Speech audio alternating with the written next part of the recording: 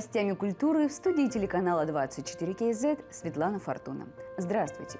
В ближайшие пять минут я и мои коллеги расскажем вам о главных событиях.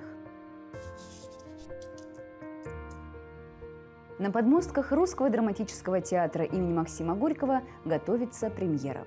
Новый спектакль «Затюканный апостол» ставится по одноименному произведению белорусского драматурга Андрея Макаенко. Для работы над ним в Астану приглашен молодой режиссер из Ташкента. Подробности в следующем сюжете.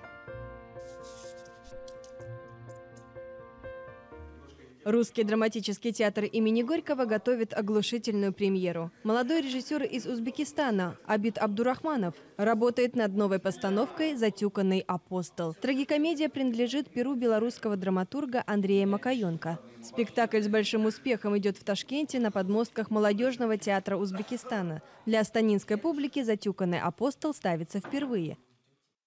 Ну, я хотел бы, чтобы э, все родители ну, не, не только что, что касается родителей конкретно, у которых есть дети, а вообще все люди, чтобы они обратили внимание на то, что они дарят новому поколению, что они привносят для нового поколения. Потому что то, что они принесут сегодня, завтра будет чем-то глобальным. Вот как-то так. Это главный посыл, который зашифровал в спектакле режиссер. Действие спектакля происходит в самой обыкновенной семье. Однако и тут все не так просто. Младший сын не по годам развитый мальчик, который на все имеет свое мнение. Мальчик не только эрудирован, он имеет аналитический склад ума и отлично разбирается в политике. Кумиры ребенка – самые известные в истории лидеры. Однако родители не воспринимают всерьез маленького гения, ведь они заняты решением своих насущных проблем. Очень сложная роль. Очень сложно, потому что, во-первых, э, я уже давно не мальчик. Вот. Ну и тяжело играть ребенка, и в то же время, который мнит себя взрослым. То есть нужно играть ребенка и в то же время обратно возвращаться как минимум в свой возраст, ну, который у меня сейчас. Спектакль не отличается богатством декораций и великолепием костюмов. Главное в нем – драматургия и актерская игра. Насладиться новым творением горьковцев гости и жители столицы смогут уже 25 сентября текущего года. О самых важных новостях в мире культуры и искусства за рубежом вы узнаете из нашей рубрики «Дайджест событий». В Мадриде проходит выставка, посвященная творчеству Жоржа Мельеса, которого называют первым волшебником кинематографа. Жорж Мельес фактически первый кинорежиссер, перешедший от простых съемок кинороликов каких-либо событий, обычных жизненных сцен к постановочным художественным фильмам.